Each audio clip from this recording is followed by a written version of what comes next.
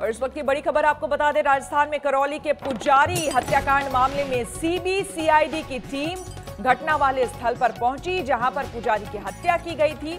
वारदात वाली जगह पर जाकर मुआयना किया, पड़ताल किया और साथ ही जिस वक्त सीबीसीआईडी की टीम पूरी घटना का मुआयना कर रही थी, उस जगह का घटना स्थल का मुआयना कर रही थी एफएसएल की टीम भी वहाँ पर मौजूद थी। हम रुकेंगे यहाँ पर एक और छोटे से ब्रेक के लिए। बने रहे हमारे साथ, देखते रहिए आज तक। नमस्कार, मैं हूँ अंजना ओम कश्यप हमें उम्मीद है ये वीडियो आपको पसंद आया होगा। लेटेस्ट खबरों के लिए यूँ ही देखते रहिए आज तक और इस वीडियो के पसंद आने पर लाइक शेयर एंड सब्सक्राइब करना ना भूलें।